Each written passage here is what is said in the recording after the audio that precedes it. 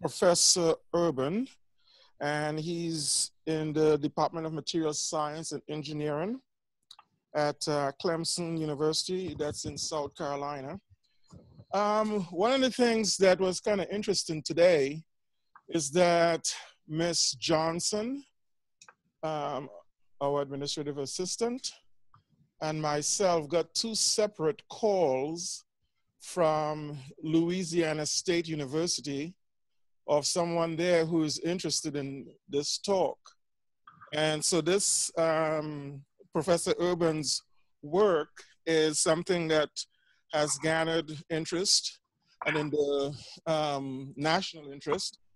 And in the um, flyer that we have for him here, he looks at things like antimicrobial polymers, self-repairing materials, and they've been featured in places like New York Times, USA Today, Discovery Channel. Um, do you know Professor um, Isaiah Warner? Professor do, do I know uh, Professor? No, no, I no, I do not. Although the name sounds familiar. Yeah, he's very interested. He was the one from Louisiana State University that was interested in uh, hearing you speak. So he'll get a, a chance to do that because we usually upload the presentations on YouTube after. So it's my pleasure to have you here today with us and we await your presentation. Thank you very much for accepting our invitation. Well, thank you very much. I'm delighted to be able to share with you some of the work that we've been doing in the last uh, uh, several years. It started to, to, kind of like an innocent project uh, related to utilization of uh, marine waste, if you wish, wish crab waste and shrimp waste uh, uh, as part of the Department of Natural Resources project. And then it turned, turned out to it turned out to be a huge uh, area of interest, and part of it is related to the fact that you know in chemistry we design various uh, reactions we design various uh, processes based on typically one or two reactions that may or may not take place but in polymerization, uh, things are uh, far more complex than in the chemistry. And part of it is the fact that we simply cannot measure many things because, uh, as you envision, polymeric materials are uh, certainly large in terms of molecular weight, in terms of structures. And as a consequence, placing individual monomers along the polymer chain not only becomes a challenge in terms of placing it in the right place, but also becomes as a it, it becomes a challenge to characterize those. Uh, so, in essence, uh, the title of my talk is, is really how stimuli responsiveness. And when I when I say stimuli responsiveness, I, I, I explain this in a second. It relates to something that essentially you physically break, and how this thing can get to be, be placed together and be stitched uh, together. So sometimes we call it materials recovering from uh, real injuries uh, in time. And just to give you a little background, let's see, I can, how do I go to the next slide? Okay, here, here I go. Uh, but before I do that, I need to acknowledge uh, uh, those who funded the research, National Science Foundation, U.S. Army Center for Research and Development, Serene Foundation, Clemson, and numerous industrial sponsors. And uh, several groups of, uh, uh, several members of my research group, current and previous, most of the work I've been talking about is, is based on Dr. Young thesis and uh, Biswajit Ghosh, who graduated a couple years ago, and also current students Chris Hornat and Dmitriy Davydovich, who are currently working uh, in my group, as well as uh, uh, Changhui Liu.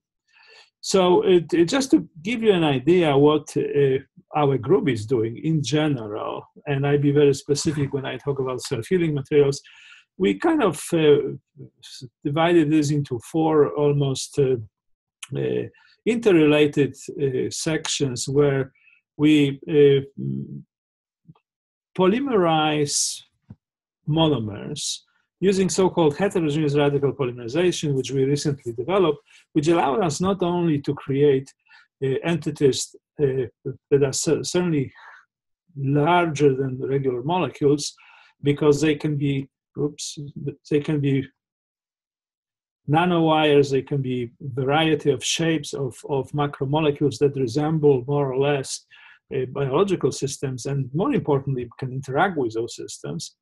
Uh, uh, so that's the subject of another talk.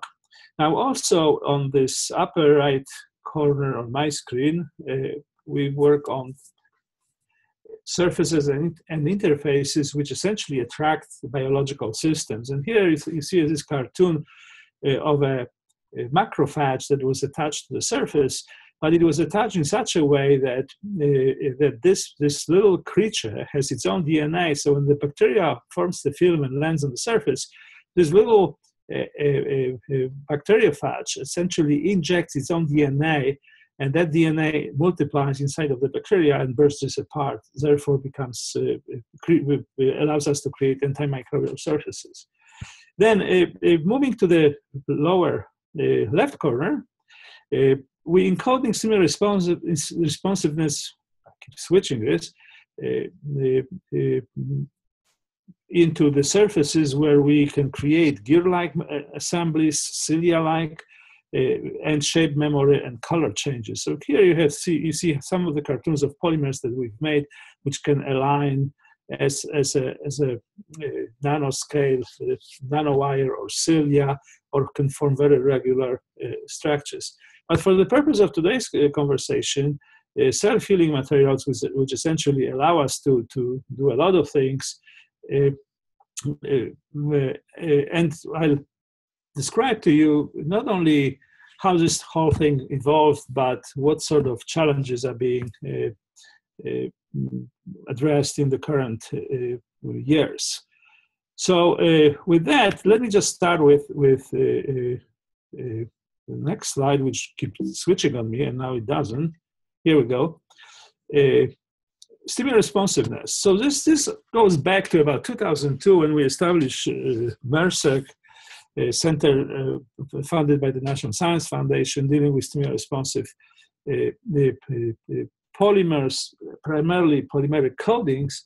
And what was really fascinating about it, when you start looking at all these macromolecules in the solution on surfaces and interfaces uh, in, inside of the gels or solids, it became clear that the dimensional changes within those materials require different uh, spatial, spatial uh, arrangements. So when you talk about liquids, low energy Brownian motion allows you to move molecules or segments of the molecules in XY directions, and there's a lot of degrees of freedom. Energetically, it's a relatively easy process to accomplish, and there are a number of polymeric studies which deal with solution chemistry where macromolecules can expand, collapse as a result of temperature, pH changes, and what have you. Surface and the interfaces becomes a little bit more restrictive because you anchor one end of the molecule, therefore restricted motion in the XY direction uh, exists. Now in gels, things are, I have a new computer, I apologize. Uh, uh, gels are even further restricted, but a lot of loose ends or loose space within that structure allows to uh, for more macromolecular segments to be mobilized. Our interest is primarily in solids, where there are tremendous restrictions on the space, spatial uh, rearrangements, but at the same time, as you envision, solids are very functional materials. Uh, so uh, everything I'll be talking about today is related to solid polymeric materials, and various stimuli responsiveness, which can range from physical to chemical, mechanical, electrical. You can mm, envision those, but they are grouped in two categories physical and chemical. And you can find more about those uh, things about, in several review articles that we, we published. Now, uh, what is uh, also interesting is that in self-healing materials, you have to have those uh, uh, uh, abilities to move materials around because otherwise it won't simply react, it won't self-heal. So uh, uh, historically what happened in this field Uh, stimuli-induced self-healing was essentially originated early 2000, 2003 with several papers which essentially, I'm, gonna, I'm going to start with this the upper left corner this, this slide where uh, fibers which, which had hollow uh, uh, cavities were uh, proposed where this red cavity had li reactive liquid. So when, when the, I keep switching this, my apology, when when this uh, reactive liquid uh, when the fiber breaks, reactive liquid spills and self-heals the crack that was formed. Now, the same concept was uh, essentially uh, followed by providing encapsulated uh, reactants represented by those red spheres, where essentially when the mechanical crack propagates, reactive group groups are being exposed to the air, and as a consequence, they self-heal the process, the, the, the, the, damaged material. But those are kind of a physical uh, manipulations of materials. And I guess the challenge here is, well, how do we design those uh, reactive components?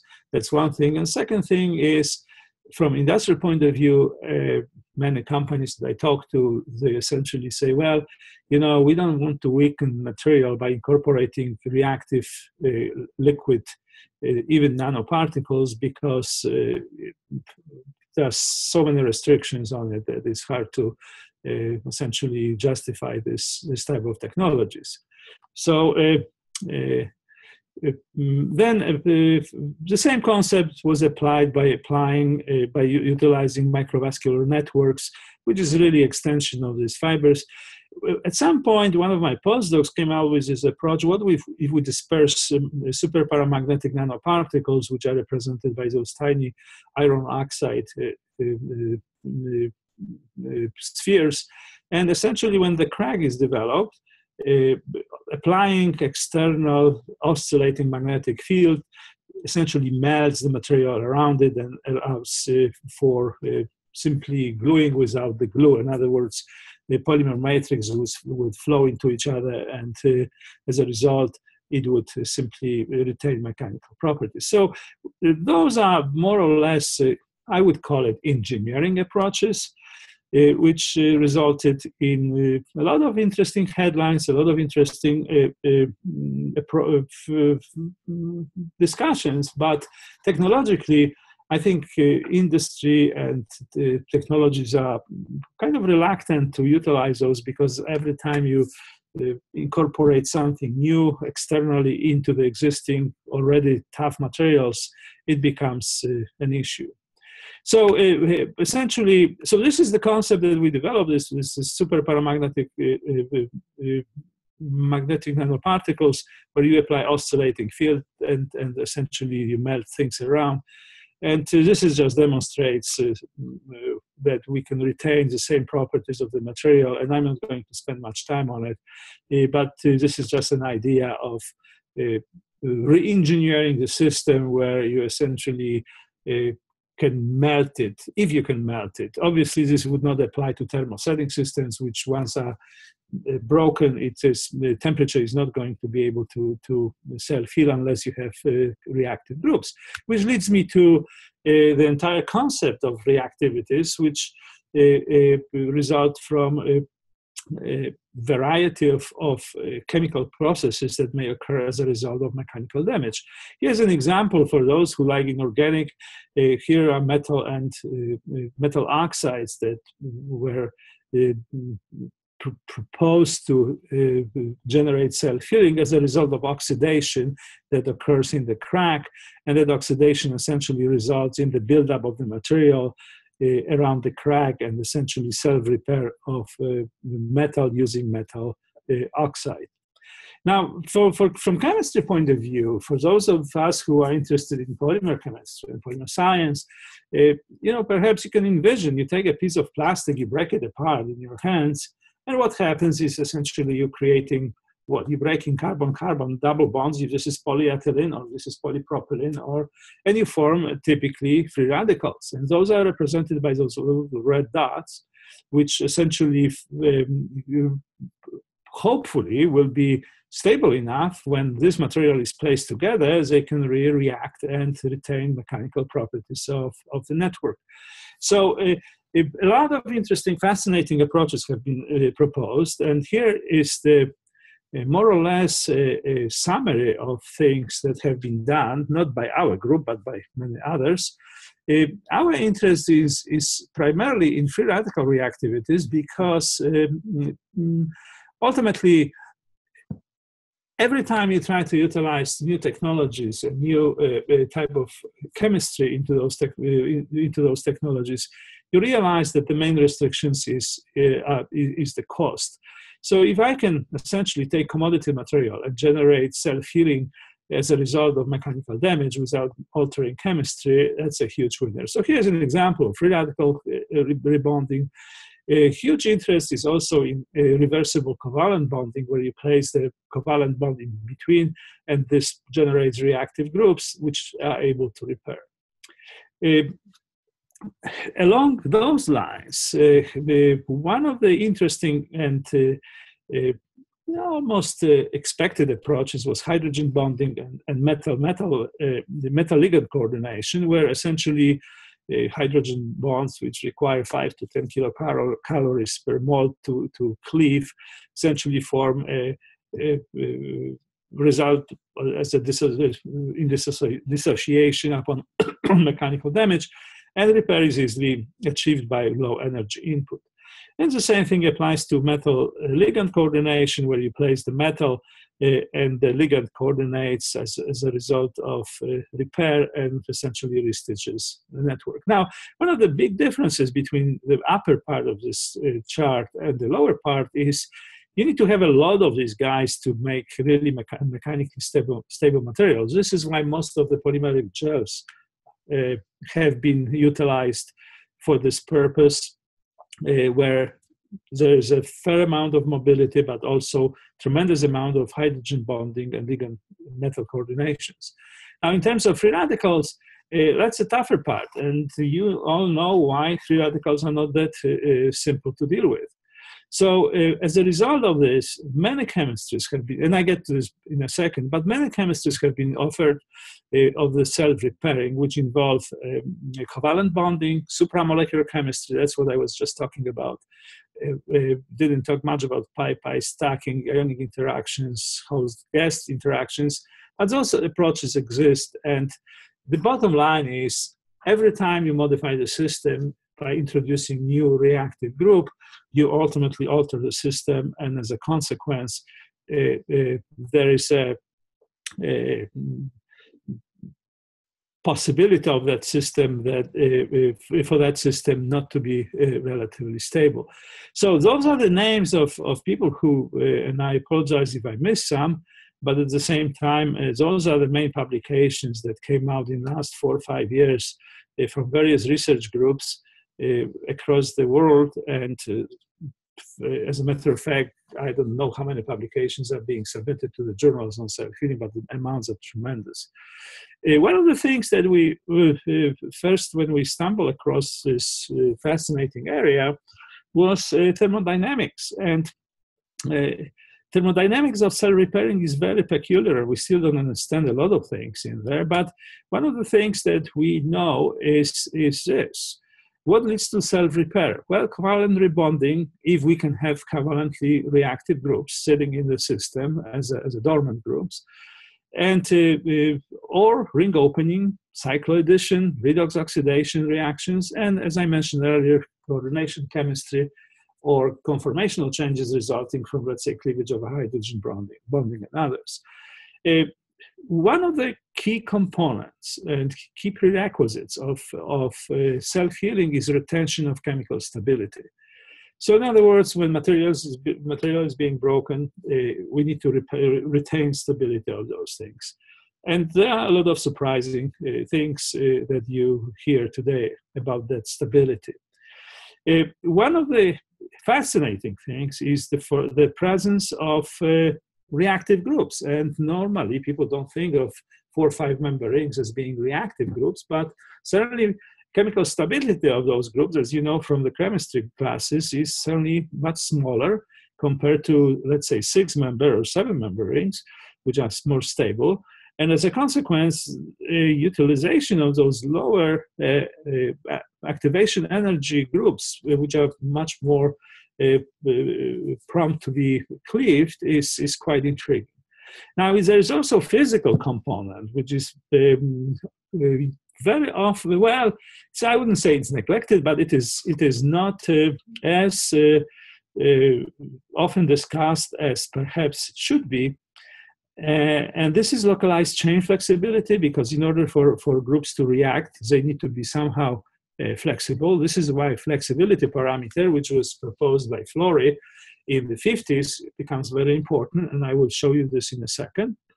And localized heterogeneity, which is really related to the volume that uh, is required for macromolecular segments to move from one place to another, uh, which can be very often achieved by the phase separation. And consequently, one of the things that uh, we uh, seriously considering is the, the, glass transition temperature of the polymer, which turns out to be not a big issue, but uh, far more important is phase separation and localized heterogeneity. So one of the first things that we did with, with, with uh, the uh, this flexibility parameter. So I'm going back now from uh, to, to the physical aspects of polymer network. And I don't want to bore you with all these equations because they are really for decoration purposes. but uh, uh, as you all know, the, the Gibbs free energy, delta G, uh, of two chains that are being separated apart is going to depend upon uh, the enthalpy and entropy of, those, of the system. So if you consider, uh, if you consider tethers and uh, separated chains uh, and calculate delta G as a function of number of repeating units, which is on this uh, axis here, and, and the flexibility parameter from Flory's theory, you very quickly realize that uh, obviously we all know that when delta G is, is greater than zero, uh, is smaller than zero, that process is going to be spontaneous. And notice when you predict uh, based simply on just parameters that are uh, necessary to calculate uh, free energy of uh, polymeric chains as a function of number of repeating units and flexibility, this red line represents what we call a healing curve which essentially facilitates anything above this line facilitates and becomes spontaneous self-healing and anything below all these planes below you see and this gray plane becomes non-spontaneous. That means requires external uh, energy to overcome in order to for the system to self-heal. And this could be temperature it could be uv radiation could be many uh, things but but there are certain things certain uh, network properties that needs to be fulfilled which makes sense because as you go to a, a, a more flexible, my computers keep switching, sorry, as you go to a, higher flexibility parameter, that the plane is pointing upwards, meaning the delta G becomes more negative. This is just uh, the, the, negative axis is pointing upwards, uh, just for illustration purposes, because if this was underneath, it would be hard to see it. But by, based on the simple predictions, we can essentially say, okay, well, what molecular weight do we need? What sort of flexibility we need? And that is determined by the uh, chemical structure of polymeric uh, uh, monomeric units that make up a polymer network or polymer chain. And this gives us a guide in terms of what can we predict at least are we in the right ballpark. So, so with this, we created this self-healing diagram where essentially going from undamaged state in this upper uh, corner here, E0 to uh, uh, bond cleavage E1, we have this side reaction and we have essentially, like, for some reason I'm not having a good luck with my touchpad uh, on this Mac. Uh, but the bottom line here is this. When you go from ground state E0 to, uh, sorry, to E1, which is damage activated state, the energy, energetically this state has higher energy. So what we want to do is essentially activate this, deactivate this state by going to the activated state through the external stimuli uh, to go to this deactivated state E2 or E3, and that's going to be dictated by the, again, flexibility of the chains as well as their uh, ability to uh, and their uh, and their molecular weight. So consequently, when at the same time, there's a physical process which is related to heterogeneity, and the higher the degree of heterogeneity, more diffusion we have. So cleaved bond stability uh, in this context becomes really critical, and typically for homogeneous systems, it's just like the polyethylene, polypropylene diffusion uh, leads to lower entropy, and no self-repair typically occurs when delta G is obviously higher than, than is greater than zero. As, as a consequence, most of the polymerics, uh, polymeric systems don't self-heal. But when, when, when we introduce heterogeneity, and, and, and this, is, this has been demonstrated not by us, but many others, when the boundary bonding reactions parallels uh, the diffusion, uh, so those arrows are different, essentially delta S becomes greater than zero, and entropy takes over and delta G becomes uh, uh, uh, delta G becomes negative and cell repair may occur. So, so this, this just simply energetic simple diagram will allow you to more or less look at the material and say, okay, well, this, this, is, this has a chance of being uh, uh, of, of being able to uh, utilize self-healing. So now, if, if talking about the self-healing, we approach this from uh, several uh, uh, uh, angles, and these are various chemistries that were introduced into a variety of different cell, uh, different systems, uh, which essentially utilized thermal energy in order to in order to overcome this delta G barrier, electromagnetic radiation, water, wind, those are all questions mark. Can we utilize natural resources such as atmospheric gases, what's in the air, to uh, achieve simultaneous self-healing?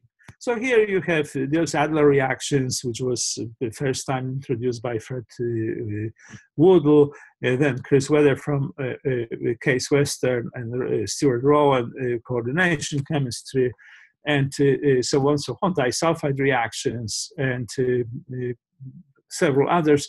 The question was going back to this energy requirement, can we utilize an approach where we have essentially energy, energy plotted uh, as a function of equilibrium uh, from uh, distance from equilibrium and design stable polymer network which will have this minimum energy and then within this network, we uh, incorporate a system that will be will allow us to go from this minimum to this minimum with very minimum minim, minimal efforts of energy, and that's what we call it a semi-responsive uh, component of the network. So by doing this combination of these two sub-networks, one we call it functional, so in other words, it maintains mechanical stability, and the other one would be uh, more uh, built into the network, so it's simply much smaller. We call it stimulus responsive component. Can we utilize this concept and modify existing networks in order to be able to, to achieve this jump from one end to a minimum of minimum to another while maintaining this functionality of the network?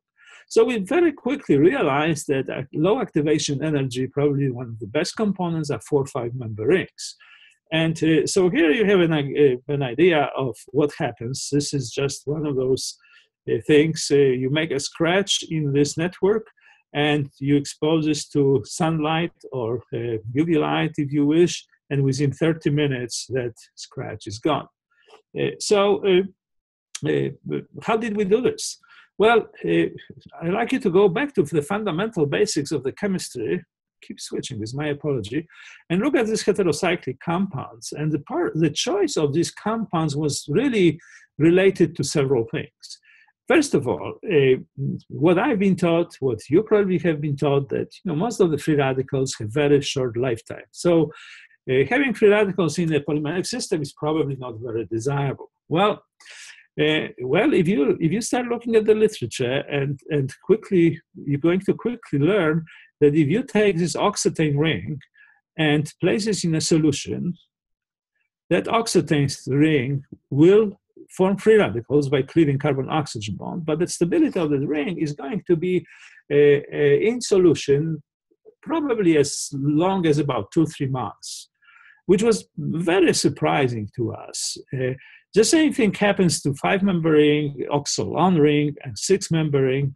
But uh, the, the key component of this, this systematic study was essentially taking those rings and modify specific networks that we were very interested in, and functional networks. And one of those very functional uh, materials is polyurethane, which has many diversified properties, and incorporate this molecule into a system which uh, is composed of uh, simply carbohydrates, sugars. Okay, so here you have a structure of monosaccharide. Here you have a structure of disaccharide, cellulosic materials are in great abundance.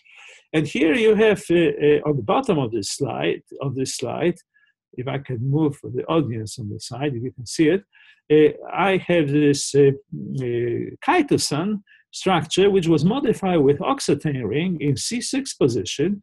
And the key component of this uh, chemical reaction was to maintain amine functionality at the bottom of this, of, of sticking out from this uh, uh, uh, carbohydrate, so I can have free radical generation on the oxetane ring while I maintain reactivity of amine groups uh, during, the, during the process. And I'll get back to these di- disaccharide molecules a little bit later. How important is the spacing and coordination between hydroxyl groups on this uh, uh, uh six member ring, which is very critical to self healing uh, uh, properties. So, and here you have just essentially a variety of different practical examples which serve in many biological systems. Uh, uh, in brain and in uh, antioxidant, antimicrobial activities, cell wall plants, and uh, strong hydrogen stereochemistries, you name it, many applications. So what we did essentially at some point, we took this urethane, uh, and uh, what we did with this uh, design very precise polymer network, which consists of this diol, which is has two hydroxyl groups to react, and this triisocyanate, so those shaded uh, uh, molecules can react with each other. As you know, hydroxyl groups will very readily react with, with isocyanate, forming polyurethanes. But into this network, we incorporated very small uh, amounts, and those are stoichiometric amounts, but precise amounts of this uh, uh, macromonomer, which we patented and published a number of papers, which consists of this uh, very, not very reactive, but reactive enough to form stable free radicals, oxetane, uh, with amine functionalities. So if you design this in stoichiometric amounts, amine functionalities will react with isocyanate as well as hydroxyl groups react with isocyanate, and you essentially form a polyurethane network modified with uh, this uh, uh oxy, ox, ox,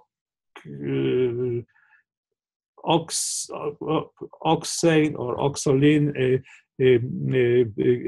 four five member rings. So here's a schematic di diagram of this network. You damage it, you form loose ends, and then as a result of exposure to UV radiation on sun, sun we essentially uh, self heals.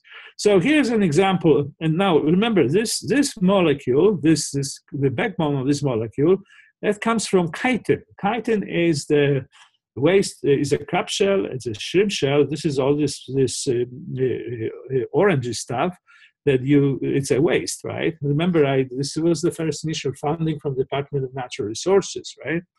So they, there's plenty of abundance. That's probably like why, why folks in Louisiana and many other parts of the uh, country are interested in the utilization of chitosan or chitin, which is a, initial material, but it can be modified to chitosan, and that's what we use. We use chitosan, uh, which if you need, you can get a truck, truckload of this. So this is why what media made out of this when we published this paper. So here you have this crab sitting on this van. Van is supposed to self-repair, but if you know Japanese, here is the uh, program on Japanese television that was published, that was uh, aired probably five years ago or so, uh, where this powder chitosan was utilized for the uh, repair of the paint. So here's a cartoon uh, that they made out of it. And as a matter of fact, uh, that gives you some idea what. Uh, but this is actual actual material. This is the actual our, uh, you in a second. Uh, so this is real.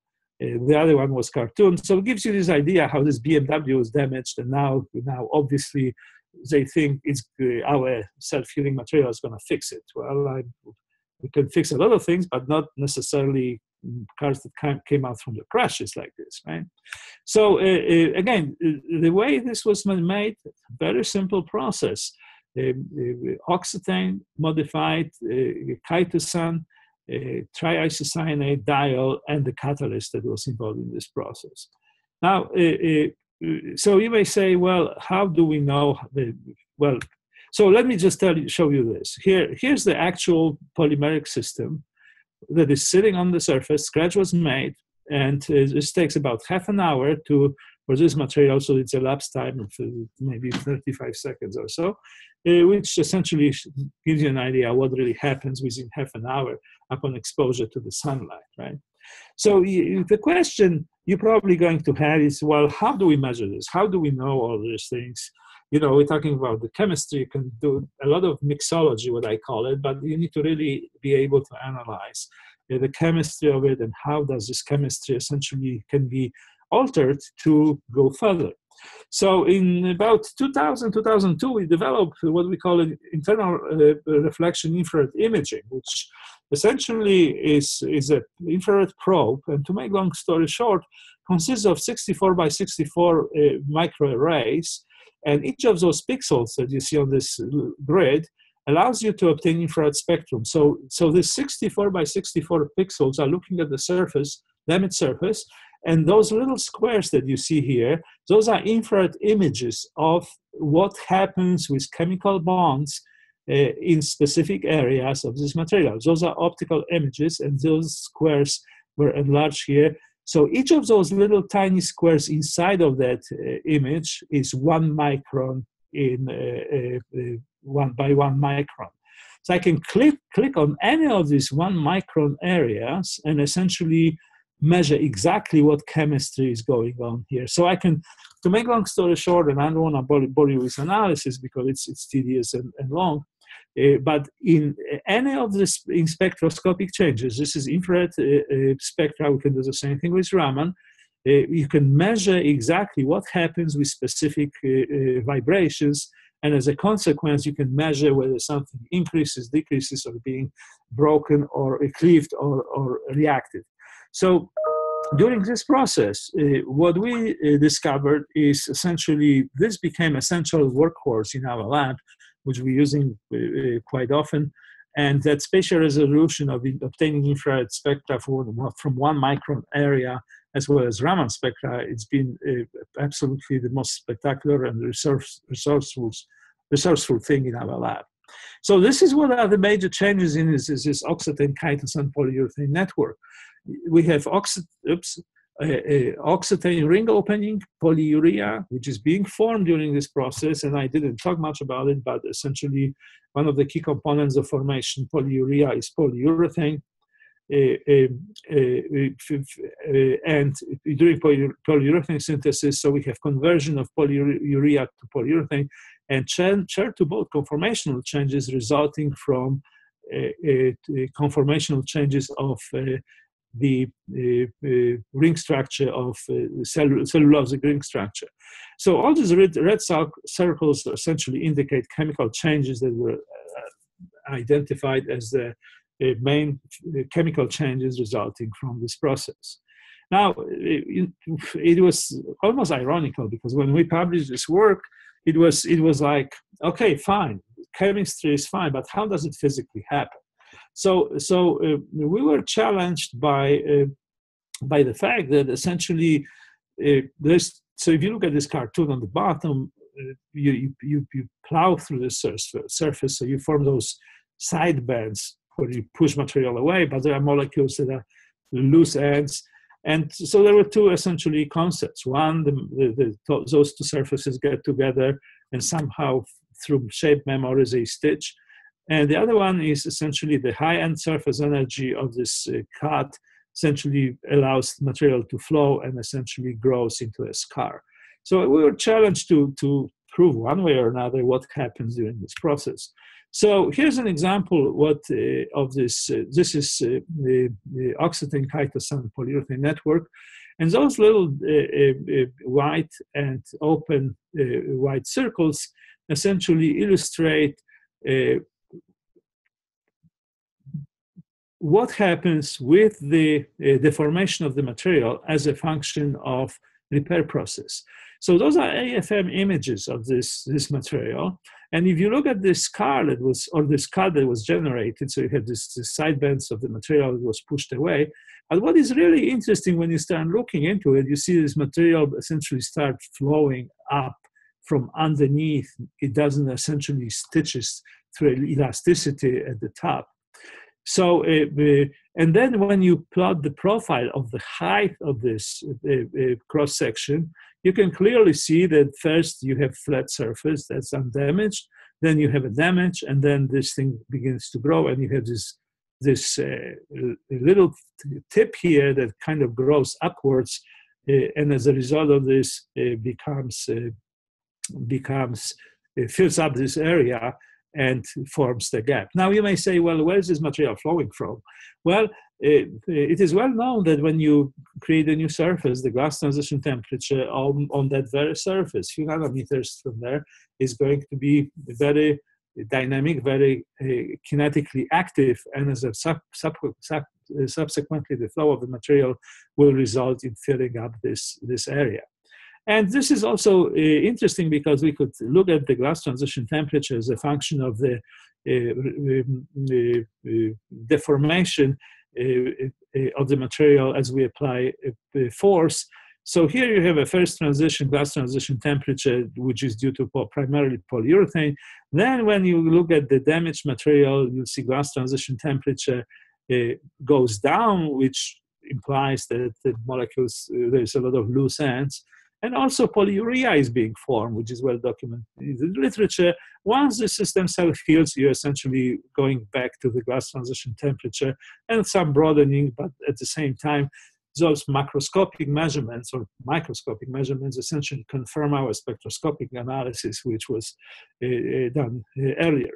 Now, if you look at the uh, rheological behavior of the system, we did a little simulation on this and look at this laminar versus turbulent flow. And turns out that in order for this process to happen, so in other words, here's the damage and here's the laminar flow, this becomes turbulent flow. In order for this to, to occur, which you've seen on these AFM images, you have to have a mixture of turbulent and laminar flow, which comes from the excess of surface energy in the in the dip in the tip of the of the cut, and as a result of this, this material tends to flow upwards. So with this, we we've learned a lot of interesting things through this process, several publications and and uh, fascinating chemistry, I call chemistry inside of the scratch, which again was really mm, only. Uh, one source of, of measurement, uh, spectroscopic measurements, was, was internal reflection, IR imaging, and Raman imaging spectroscopy. And of course, AFM and, and a few other additional techniques. But uh, so we were looking at uh, also how do we can, how do we design materials with all these chemistries that are known using atmospheric gases, for example. So here's an example of uh, some work which, which, was published in 2014 where we utilized essentially polyurethane system, but this time polyurethane system contained diglucose molecule, which I mentioned earlier. So here you have an example of carbon dioxide and water that is required for self-healing, and there's plenty of this material to, to present uh, in, the, in our atmosphere. So here's an example of and I show you the video on the next slide, what, what this system does. So here's this uh, uh, traditional polyurethane that we use. I'm going to play this first. And then we have polyurethane with, that, that was modified with diglucose molecule. And this is where the chemistry really, really becomes tremendously fascinating because if you look at this video here, uh, uh, I think uh, when one video is being played, the other video is not going to be played. So uh, let's see. Oh no, it can play. I just probably press something. Uh, so what happens here is this: you cut it with a razor blade. You stitch this together with with your fingers and tweezers, and uh, so this is the material on the left hand side. You see the material that was not modified, traditional polyurethane. Wait after about an hour, and if you look at this guy here on the right hand side, after one hour, you see the scar but mechanical properties uh, being recovered. Now, this guy is, I'm going to accelerate this thing so you can see what happens uh, uh, after one hour. Uh, essentially, this material will break upon its own weight. Uh, uh, so we can clearly see that simply incorporating diglucose molecule uh, makes a huge difference. So this is the chemistry that was involved. essentially, we have essentially diol, we have isocyanate and diglucose molecule that was incorporated into this particular system. Gas transition temperature has changed, but those are the main components as a result of these reactions. Uh, I apologize, somehow I don't have a good handle on this new computer touchpad. Uh, so we have polyurea, we have uh, HDI, we have polyurethane, and we have PEG, polyethylene glycol, which is essentially difunctional uh, hydroxyl system. But here we have polyurea, HDI, uh, polyurethane, and PEG, and we have MGP. This is simply diglucose molecule that is capable of very interesting, fascinating things. So if you look at the macroscopic picture, picture uh, this system was allowed to self-heal uh, under nitrogen, under oxygen, under carbon dioxide, pure carbon dioxide, under relative humidity in nitrogen, and 25, 28% relative humidity and carbon dioxide. And under only those conditions, the system is able to self-heal. All other conditions, it is going to stay for as long as you want it and will never repair. So the question is what sort of chemistry is, is, is going on. So uh, here are some mecha- the mechanical data. I just want to point out a couple things here without going into the details because that's probably not as, as interesting. The, the storage modulus, for example, for example, as a function of time, uh, uh, when you look at the storage modulus outside of the scratch, which is really undamaged area, that storage module is kind of, you know, sits there and goes very, very little bit. But what happens with storage modulus inside of the scratch? First, obviously, it goes down because you damage the material, so it takes a deep, deep dip. And then, as you uh, allow time to uh, self heal, oops, sorry, uh, it essentially increases the initial storage modulus because the material simply uh, reacted further, it became stronger. The same thing applies to Young's modulus, the same thing applies to, to uh, uh, stress elongation. Uh, this so these are stress strain curves, which essentially tell us, okay, well, uh, uh, it is not as strong as undamaged material, but within elastic region, it is stronger. Uh, and uh, uh, the bottom line is what, what is the chemistry that, that resulted in this behavior. So here is again I, our infrared imaging come into play, and we can look at those uh, images and essentially in 3D uh, determine what, what chemical entities are responsible for this. And I'm not going to bore you with all these band assignments, but I just like to show you uh, how we do this thing so you have an idea.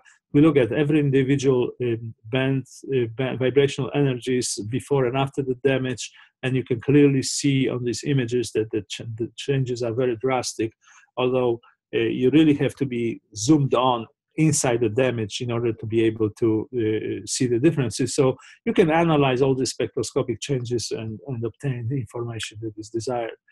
Um, so those are the main changes here, those, those uh, red uh, uh, rectangles that allow us to essentially identify key components of the, of the process. Now what really happens here is the cleavage of the bonds typically occurs by the cleavage of ether linkages, which are marked here, uh, uh, and uh, cleavage of urethane linkages.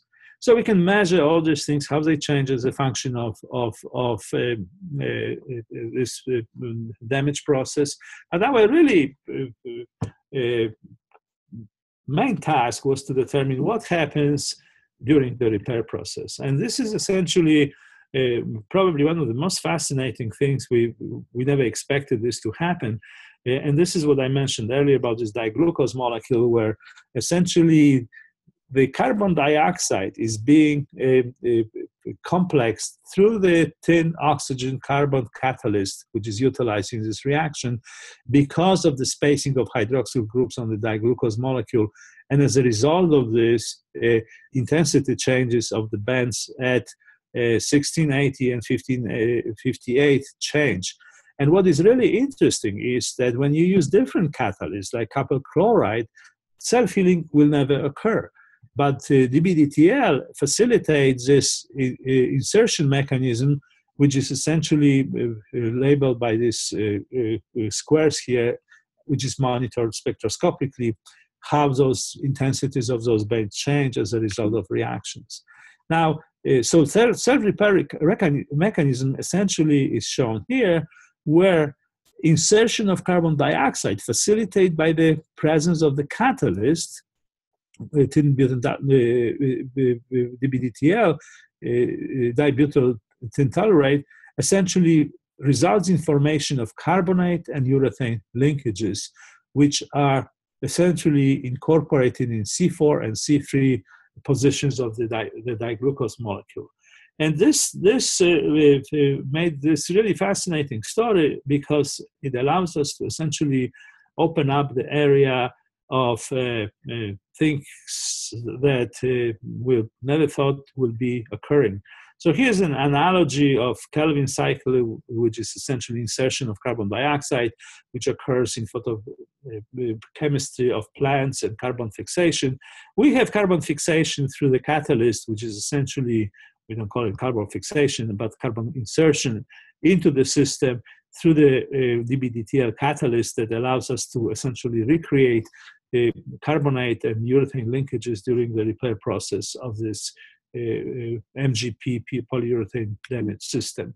Now, uh, another system that we also utilized as a catalyst, I'm going to go relatively faster now because you know now what's going on. So here's HDI tri tri-functional uh, isocyanate with PEG.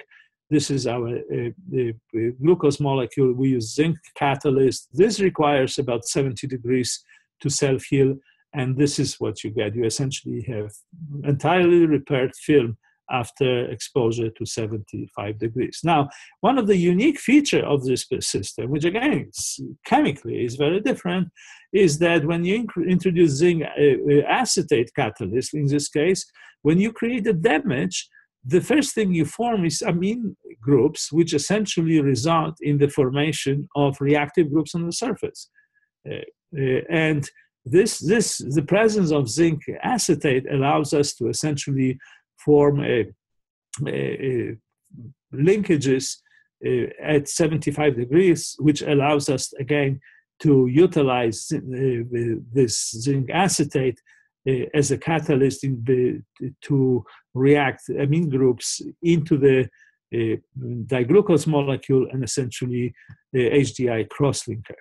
So as a result of this, as a result of the damage, we are essentially creating amine groups, which is uh, uh, something that never been shown before that facilitate uh, repair in the presence of proper uh, catalyst. So, uh, in essence, to uh, more or less summarize this thing, here we have an example of, of the system where we generate amine groups.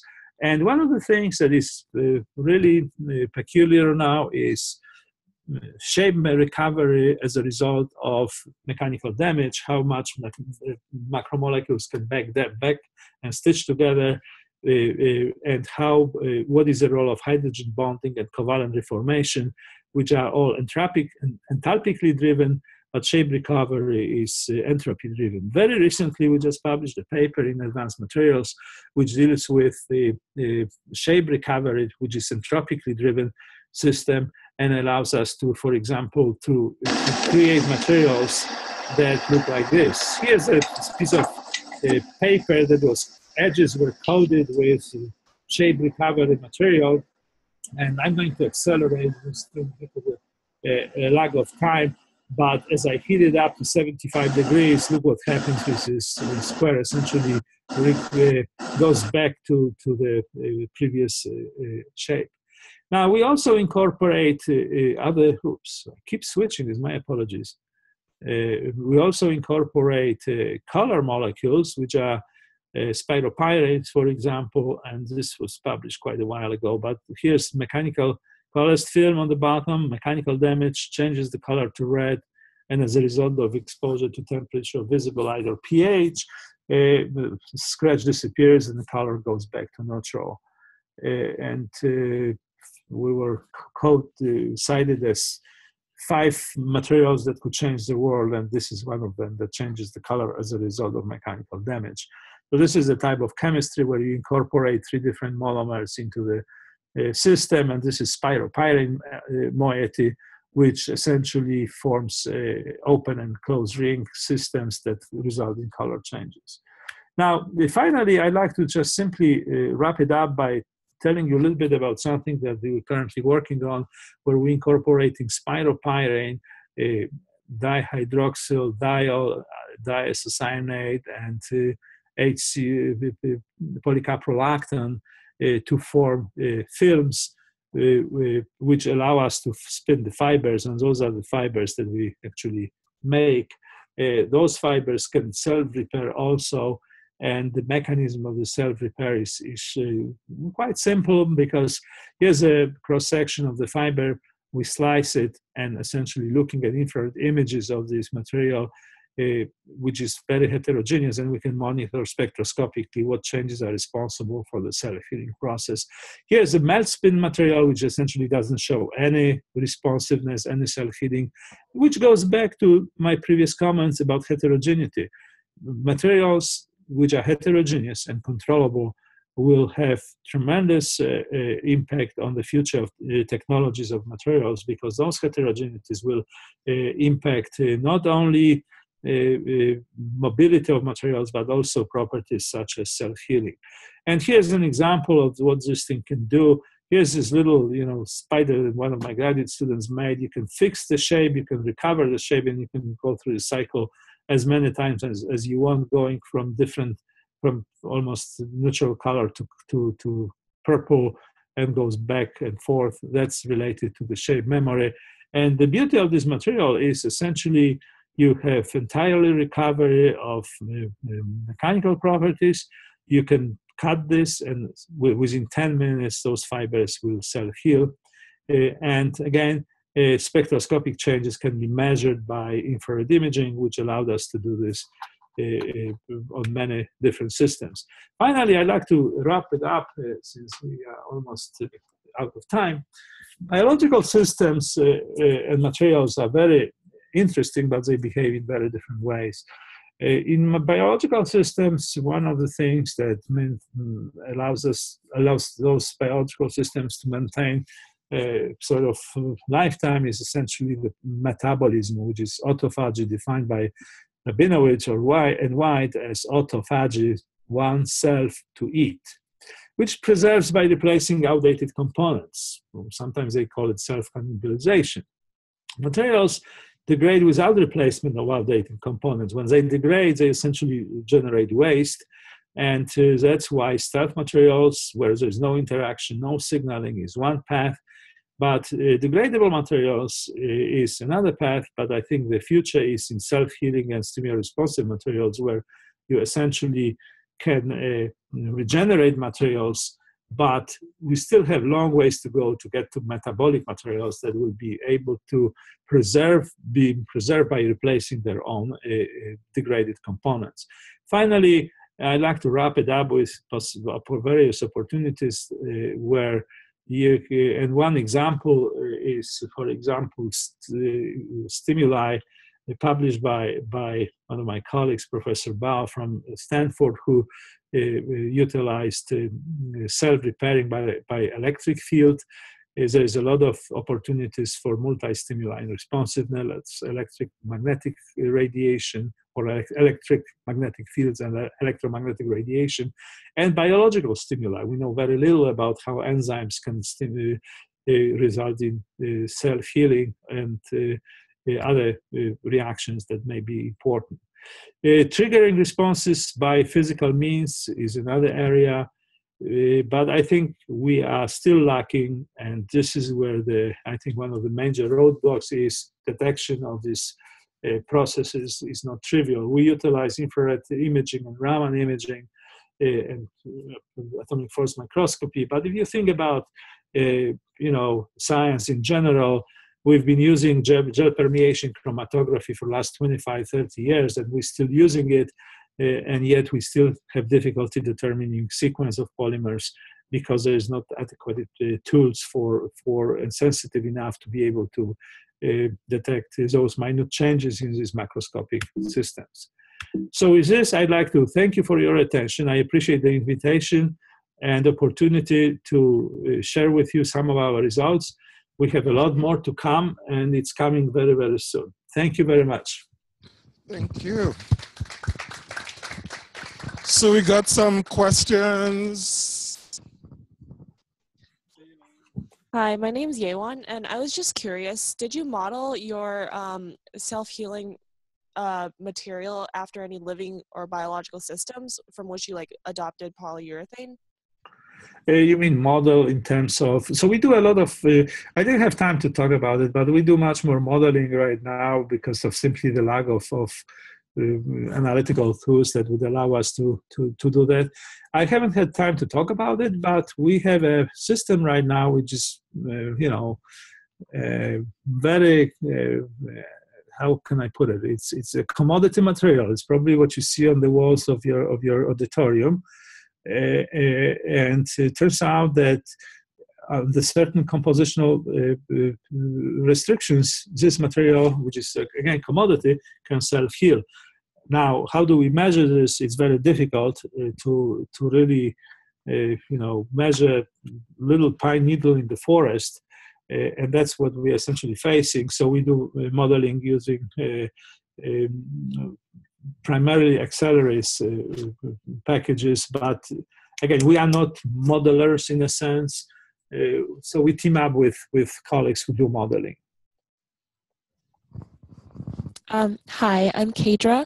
Uh, I was just wondering if there's a maximum distance that the material can be placed in which it can still anneal and come back together.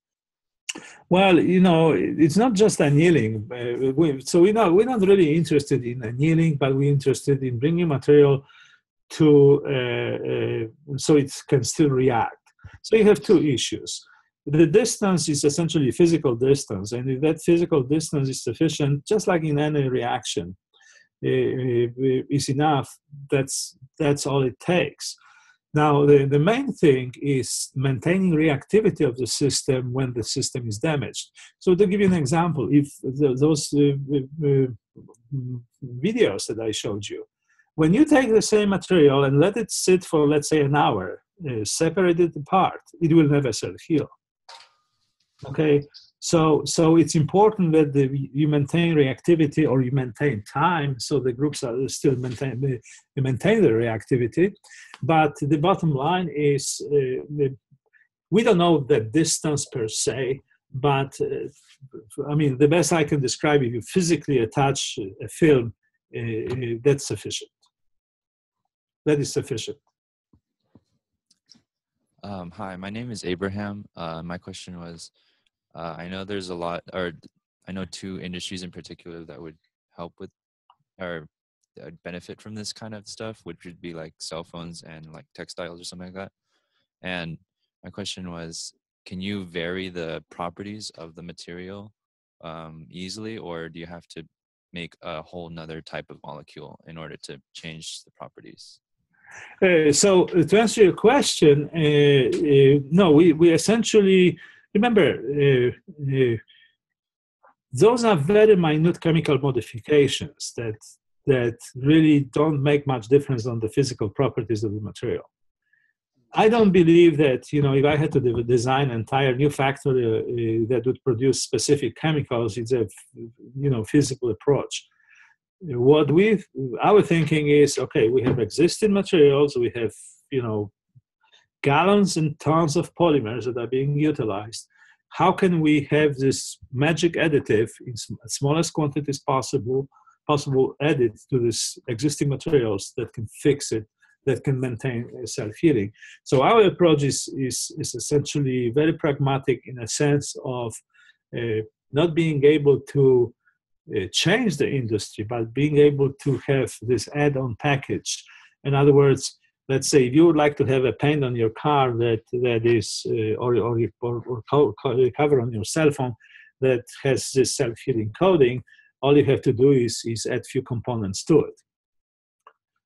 Uh, so, so uh, to answer your question, no, we are not interested in making entire new chemi- chemical factory of, of, of materials that would self-heal. We would like you, you, we use this as add-on package to the existing uh, systems.